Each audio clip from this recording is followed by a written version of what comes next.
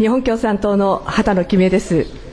私は教員の働き方改革について質問いたします。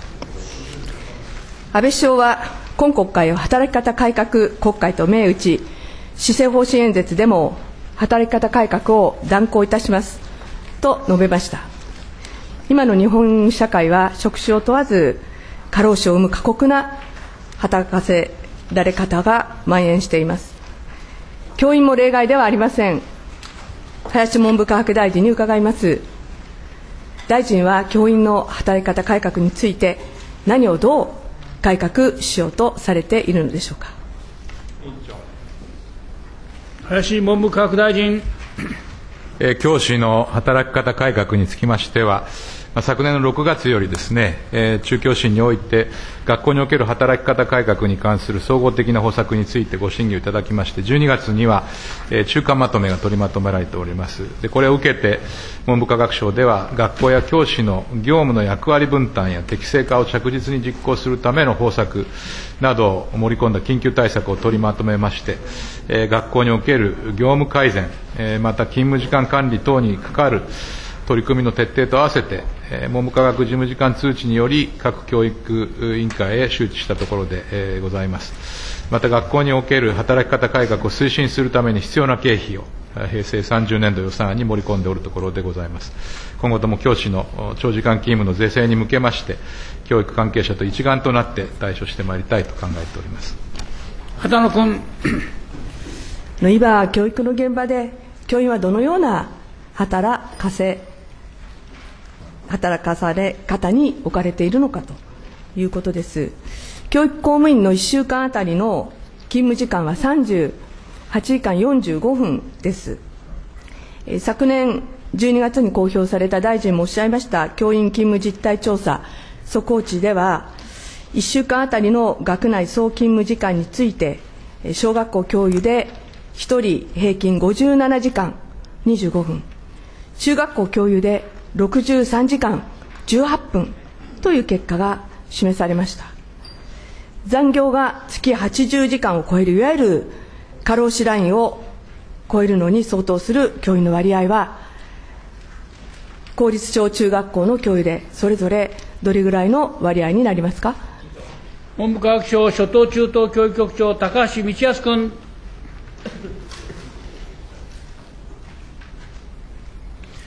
文部科学省の教育政策に関する実証研究の委託事業として、公立の小学校、中学校の各400校に勤務するフルタイムの教員を対象として、平成28年10月から11月にかけての連続する7日間に勤務実態調査を実施いたしました。同調査の速報値によると、週に60時間勤務を超える一般の教諭の割合は、小学校で約34%、中学校で約58%となっております。畑野君。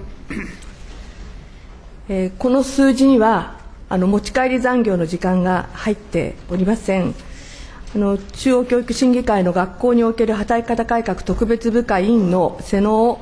正俊氏は持ち帰り仕事を含めれば小学校で約6割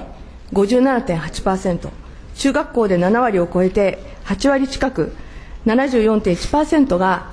過労死ラインを超えると指摘されております。その下で、過労死や過労自殺自死する教師が後を絶ちません。2014年6月に過労自殺した福井県の27歳の中学校教員は、1年生の学級担任や社会と体育の強化指導をしながら、野球部の復顧問をしており、休みは月2日から3日、4月から6月の勤務外労働が月128時間から161時間になっていたといいます。彼の残した日記には、今欲しいものは、と問われれば、睡眠と書かれていました。辞めざるを得ない教員もいます。2015年9月25日付東京新聞では、東海地方に住む30代の女性の元小学校教諭の証言を紹介しています。昨年は高学年40人クラスの担任。日本語がたどたどしい外国籍の子もいた。子供2人の母親でもある女性は帰宅後や土日にも授業準備に追われた。部活の顧問として夏休みもしと夫も仕事が忙しく育児はほぼ全て女性が担った。ぐずって泣く自分の子供を抱きしめる力もないほど疲れていた。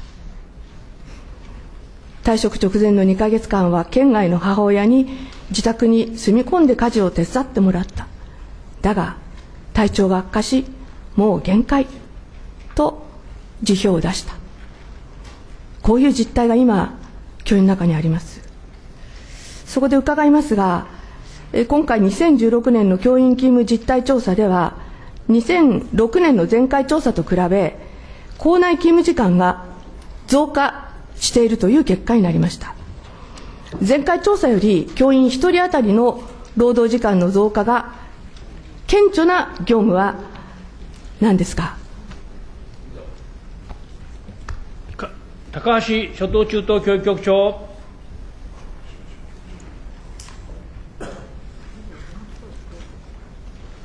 お答え申し上げます。前回、平成18年度調査に比べて、業務内容別に見ると、平日については、小学校では、授業、授業準備、学年学級経営が、中学校になりますと、授業、授業準備、成績処理、学年学級経営が増加している主要な業務でございます。また、土日について見ますと、小学校では大きな変化はございませんが、中学校では部活動の時間がほぼ倍増するなど、顕著な増加を示しております畑野君。あの授業が増加したと答弁されました。前回調査と比べて、授業の時間が小学校では教員1人当たり27分増加しています。の1998年の学習指導要領改定以降、授業時数、いわゆる授業コマ数はどうなっていますか高橋初等中等教育局長。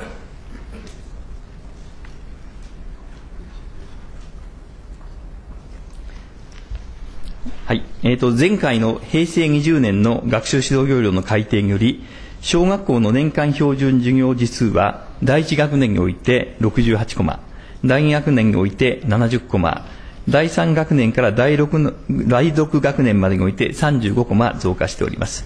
これを学習指導領域に定められた年間の授業収集の標準に基づき、週あたりのコマ数に換算いたしますと、第1学年及び第2学年においては、週あたり2コマ相当、第3学年から第 6, 年第6学年までにおいては、週あたり1コマ相当増加していることになります。同様に、中学校におきましては、すべての学年において、年間標準授業時数が35コマ増加しており、週あたりで申し上げますと、1コマ相当増加しているということになっております。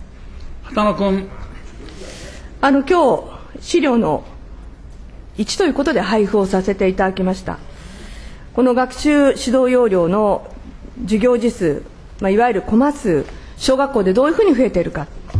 全体で言いますと、えー、1998年の改定施行は2002年ですが5367だったものが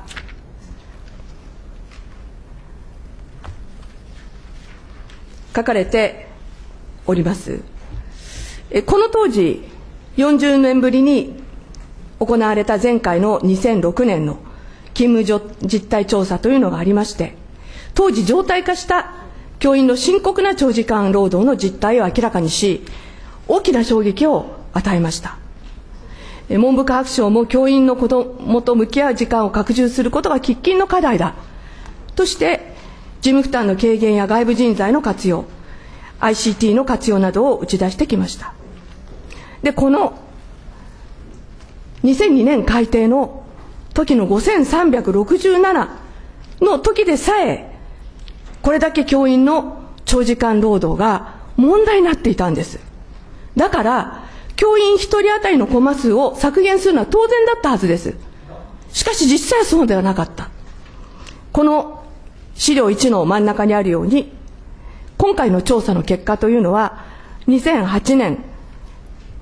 学習指導要領改定、施行は2011年に当たりますけれども、ここでは授業コマ数を全体5645、えっと、前回よりも278も増やしました。今回2016年調査の結果が前回調査よりも授業時間で27分増加した。これは、この間の学習指導要領改定で授業コマ数を増やしたのに、それに見合う教員の定数増をせずに、教員1人当たりの持ち込ま数が増えたからではありませんか、どうですか？高橋中等と初等中等教育局長。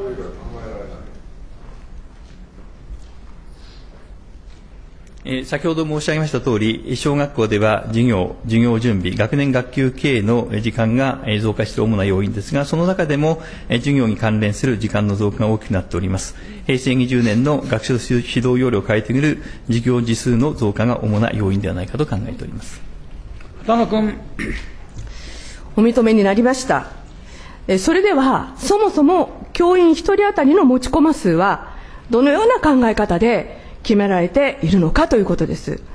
教員の定数を決める公立義務教育小学校の学級編成及び教員定数の標準に関する法律、いわゆる義務標準法は、1958年の成立当初、小学校の教員の1週間の持ち込ま数をどのように想定していたのでしょうか。高橋初中局長。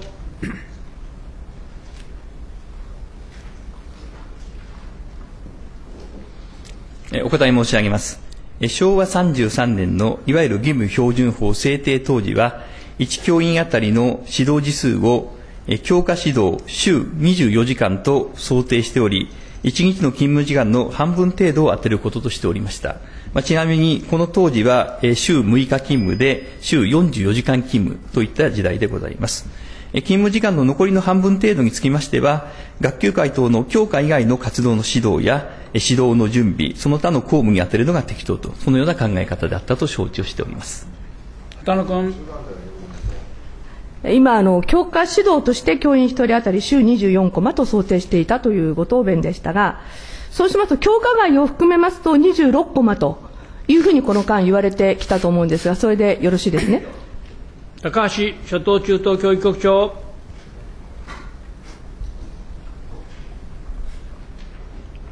先ほどの答弁の補足になりますが、当時の教員定数3点上の1教員あたりの指導実数については、小学校では教科指導週24時間のほかに、学級会などの教科以外の活動の指導週2時間を加えて、合計で26時間を想定しておりました。畑野君。合わせて26コマということです。小学校の1時間の授業時間は45分です。で週26コマは実際の時間で言えば19.5時間になります。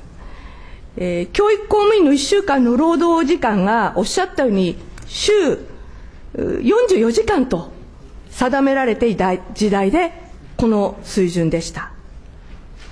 今回の勤務実態調査では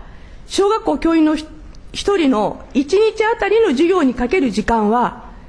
4時間25分となっています。この数字を週あたりの持ちコマ数に換算すると約29.4コマ、22時間という計算になるんですが、単純に計算すればこういうことになりますね。高橋初等中等教育局長。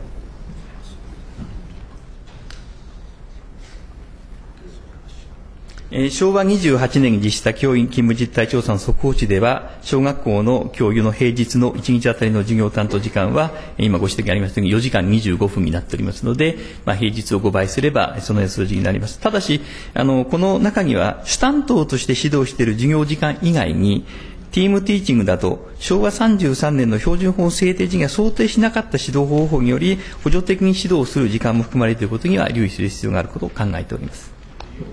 畑野君。あの、実態調査について聞いております。それで、今の教育公務員の週労働時間は38時間45分なんです。で、1958年の法制定時の週44時間よりも5時間15分減っているのに、小学校教員1人当たりの持ち込ま数は26コマから実態としては29.4コマに増えています。実際の時間で言えば、19.5時間から22時間に増加している。これが実態です。中高新の学校における働き方改革特別部会長の小川雅人氏は、今年1月16日付の読売新聞で、周辺業務の量も多いが、教員の本来業務の時間が増えていると指摘をしています。ですから、教員1人当たりの持ち込ま数を減らすことが必要ではないかと思いますが、いかがですか？大臣。林文部科学大臣。教職員定数につきましては、平成30年度の予算案におきまして、新学習指導要領における小学校外国語教育の授業実数増に対応しまして、質の高い英語教育を行うことのできる専科指導教員の確保のほか、教員の負担軽減にも資する中学校の生徒指導体制の強化、まあ、こういうのを図るためにですね、合計で1595人の改善を計上をしております。学校現場を取り巻く課題が今お話になりましたように複雑困難化している状況の中で新しい学習指導への円滑な実施や学校における働き方改革に向けて学校の指導事務体制の効果的な強化充実これを図ってまいりたいと思っております。片野君。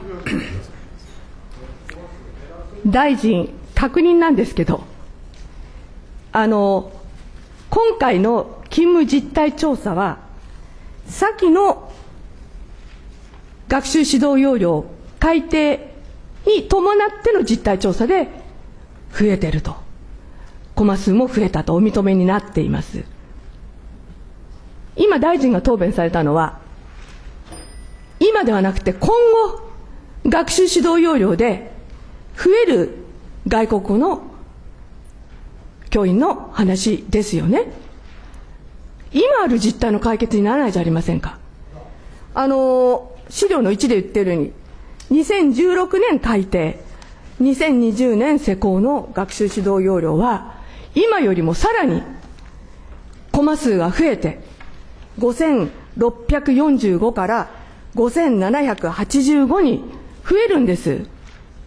ですから、今後はさらに深刻になる。それは止めるのは当然ですよ。しかし今ある、この調査の結果に基づいて、今コマ数を減らしていく。一人当たりの持ちコマ数を減らさないと改善にならないじゃありませんか？いかがですか？林文部科学大臣。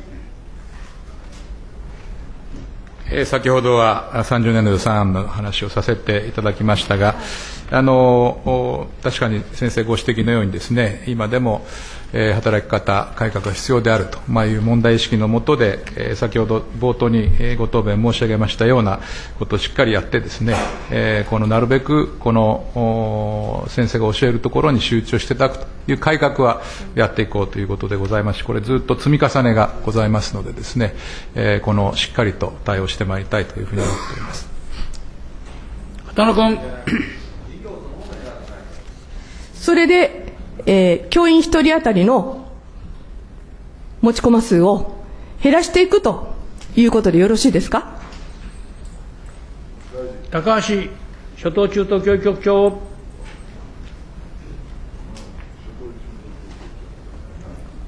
えっと、まず最初にあの大変申し訳ない先ほど私、答弁の中で、あの平成28年というべきところ、昭和28年と申し上げたようでございましたので、ここをまず訂正させていただきます。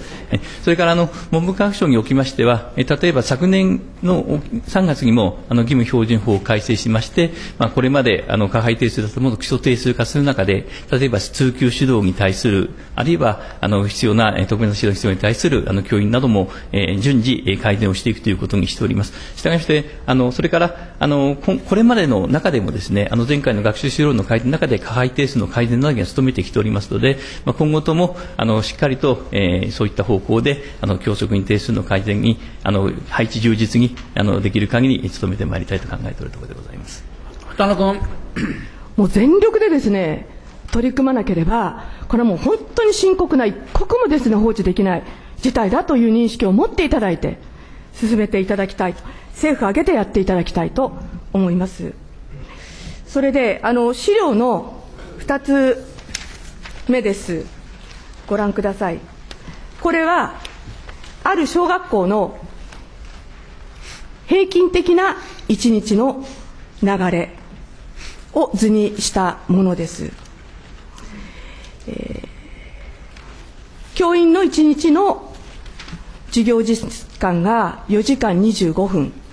という世界はどういう世界か、平均的なものを示した図です。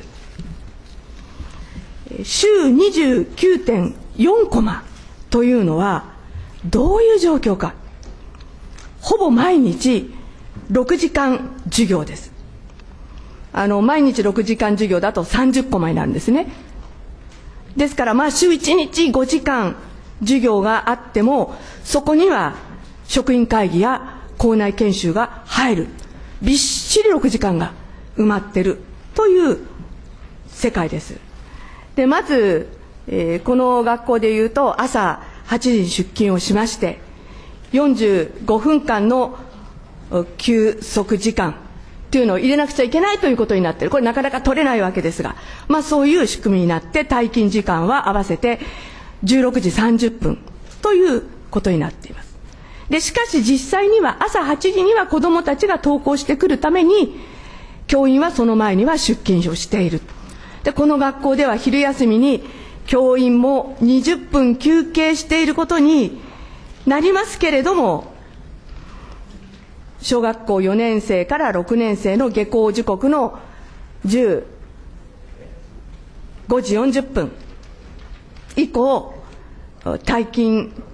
時間の16時30分まで50分間しかないんです。で、そこで、休憩時間の残り25分取らないといけないとなったらですね、25分を差し引くと、残り25分しかないんです。これがこの表の一番下。ここしかないんです。え、中間まとめは、適正な勤務時間の設定というくだりの冒頭で、定められた勤務時間内で業務を行うことが基本だと言っていますが、25分しかないんです。25分間でどうやって次の日の授業準備を行えというんでしょうか、文部科学省。大臣いかがですか？高橋初等中等教育局長。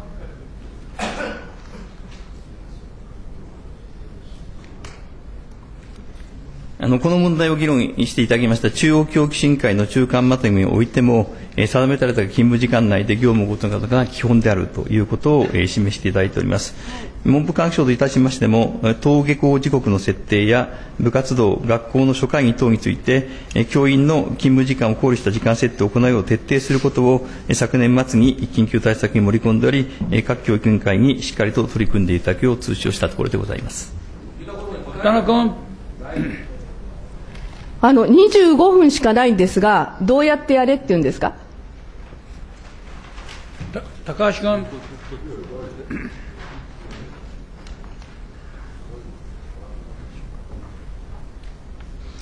今回の、あの、中教審の中間まとめを受けまして、緊急対策を設けまして、その中では、勤務時間の業務の効率化でありますとか、あるいはサポートスタッフの充実など、まあ、そういった対策も盛り込んでおります。まあ、こういったことを総合的に実施することによって、しっかりと取り組んでまいり考えております。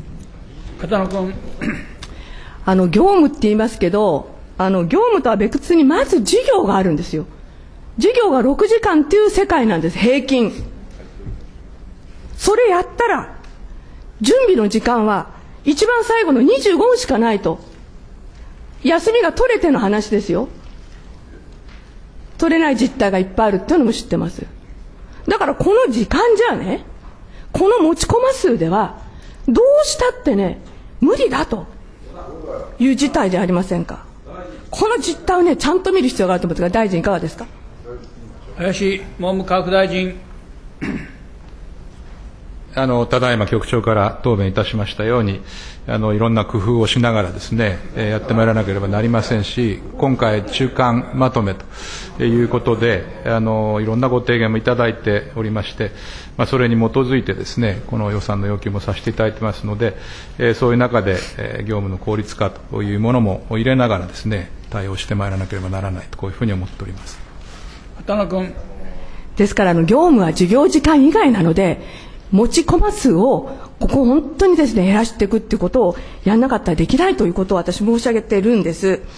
それであのこれまで政府は1時間の授業に1時間程度の準備が必要だと言ってまいりました2007年の参議院文教科学委員会での我が党の井上聡議員に対してもその考えは現在まで引き継がれていると2007年当時言ってまいりました。でこうしますとほぼ毎日6時間授業という29.4コマの世界で授業と同程度の授業準備時間を確保ししかも時間内に業務を終わらせるということはできないんですよね。ですから教員1人当たりの持ち込ま数を減らす以外にどんな方法があるのかともう繰り返しになりますから聞きませんけども本当にここに手をつけなくてはならないということを申し上げたいと思います。である小学校の教員は子どもたちが下校するまで自分の自由になる時間など全くないと言っております。子供にとっての休み時間はここに5分とか20分とかありますけれども教師にとっての休憩時間ではない。消しゴムがなくなった。まるちゃんが喧嘩してる。転んで膝をすりむいたなど子供たちの対応に追われてるんです。特に低学年の担任はトイレに行く時間も取れない。子供たちが下校した後も会議や研修が入り授業準備や宿題の点検親への対応などなどその全ては勤務時間後に行っている。常に時間に追われている。働き方改革というのなら国が責任を持って教員を増やし1学級の子供の数を少なくしてほしい様々なスタッフが入っても、専門性のない方も多く、かえって担任の負担が増えるケースがあることも知ってほしいって訴えてるんです。あの、千葉県の教職員に組合が行ったアンケート結果では、これだけ多忙な中でも7割から8割の教員が、授業準備や教材研究、子供との触れ合いにもっと時間をかけたいと願っています。教員が願っている働き方改革は、教員として本当に必要な仕事に打ち込めるように働き方を変えてほしいということです加藤厚生労働大臣は熱心に私の議論を聞いていただいておりますあのこれまで教員の持ち込ま数と労働時間の関係について議論してきましたがこれに対して大臣はどのようなご所見をお持ちですか？加藤厚生労働大臣。まあ、あの教育を含めてですね働きすぎによる健康障害があってはならないですしもちろん働く方がそのその力が十分発揮できるそうした働きやすい環境を作っていくことが必要であります。そのためにも、まあ、長時間労働の是正を図っていくということが必要だというふうに考えております。あの厚生労働省としては、過剰な労働による過労死等にかかる労災請求が行われた事業所事業場に対する監督指導はもちろんのこと、長時間労働を行っていると考えられる事業場に関しては、監督指導を実施し、まあ、法違反が認められた場合には、是正に向けた指導を行っているわけでありますが、今日はあの教員の話をされておられましたが、まあ、教員に関わる労働基準関係法令の職権行使については、私立学校では労働基準監督機関が対応させていただきますが、まあ、公立学校に関しては一部を除き、労働基準法の適用はありますけれども、実際に対応される職権の行使は人事委員会が行うということになっているわけであります。いずれにしても、教員を含め働くすべての方々が安心して活躍できる環境が整えていく、ま、そのためにも長時間労働をはじめですね、積極的に取り組んでいきたいと思います。田野君。加藤厚生労働大臣からもこの解決が必要だというご答弁をいただきました。あの資料の3に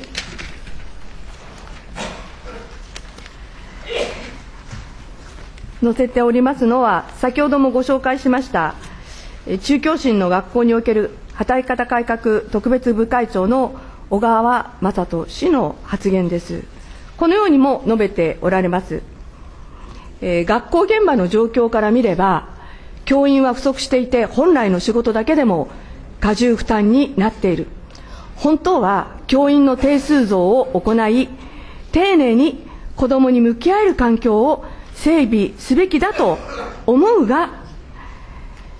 厳しい財政事情もあり、そうした正論を核に据えられなかった苦しさもあると、このように、その旨の思いを吐露されておられます。本当は、教員を増やしたいのに、正論がねじ曲げられたとおっしゃっている。教員の働き方改革を邪魔しているのはあなた方だと、政府だと言わなくてはなりません。教員の働き方改革を言うなら、教員1人当たりの持ち込ま数を減らし、長時間労働の解消に見合う教員定数増こそ行うべきではありませんか？文部科学大臣、そして麻生財務大臣に伺いたいと思います。林文部科学大臣。えー、先ほどのごご答弁と繰り返しになってしまうかもしれませんが、え、まさに、え、そういう現場の状況、また中間報告も踏まえまして、平成30年度予算案については、先ほどご答弁申し上げたような、え、この改善をですね、え、合計で1595人ほど計上させていただいておるわけで、え、ございます。一方で、え、この財政状況が厳しいということは、われわれも、ま、承知をしておりますが、え、引き続きしっかりとですね、この定数の改善、確保を図ることによって、え、この働き方改革の方は、まあ、あの、えー、その、核とおっしゃっておられましたでしょうか、まあ、そういうことではないというご指摘もあるんでしょうけれども、そちらも合わせてですね、両方でしっかりと取り組んでまいりたいというふうに思っております。麻生財務大臣。この教職員の定数につきましては、えー、平成30年度の予算におきまして、新学習指導要領の要請に向けて、円滑な実施、また学校における働き方改革などに向けて、まず小学校における英語への対応のための専科指導教員の充実、またいじめ不登校等への対応など必要な分野の充実を図っていると私どもは考えております。同時に学校の指導運営体制につきましては、これは教育現場の実態というものがありますので、そういった意味で業務の見直し、また外部人材の活用等を通じて、効果的に教育環境を整えていくことも重要であると考えております。その上で、今後、教職員数の増加が必要となるかにつきましては、これは先ほどお話ありましたように、財政事情もありますが、事実に基づく議論、また、PDCA サイクルの確率等々を踏まえて、これはしっかりと検討させていただきたいと思っておりますが、平成30年度につきましては、定数改善では1210人かな、いう、いう体操になっていると思っておりますが。田野君。あの、来年度予算案の話がございました。先ほど申し上げましたけれども、小学校で言いますと、英語の専科、1000人増やすと、繰り返しおっしゃるんですけど、さっき言ったように、これから新学習指導要領に向けて、新たに増える英語のコマ数、140に対応するものなんです。いいですよね。で、今問題になってる教員実態調査で明らかになったのは、この2011年に施行されて増えた授業コマ数、これによって授業持ちコマ数が増えたと。それが長時間労働になってるんだから、今の時点で改善しないといけないということを申し上げているんです。そしてですね、さっき言われた1000人の今後増やす毎年ですね、これ定数改善じゃなくて加配ですよね。今、外部人材とおっしゃいました。しかし授業はですね、教員がやるんです。他の人に頼ることはできないんです。その準備も含めて、今後一層ですね、教員の質を上げていかなくちゃいけないと政府も言ってまいりました。これではですね、全くのね、改革にはなりません。日本教育新聞が市区町村教育庁に行ったアンケート結果では、97%が教員の定数改善を望むと回答しております。安倍政権は4年連続で教育予算を削り、教員の抜本増に背を向け続けてまいりました。35人学級の促進を途中で止めたのも安倍政権です。この深刻な教員の超過密、長時間過密労働を解消せずして、何が働き方改革ですか？教員の働き方改革というのなら、教員一人当たりのコマ数を減らし、長時間労働の解消に見合う教員定数増、そして人一人に行き届いて目の届く少人数学級、これを進めることだということを申し上げて、私の質問を終わります。これにて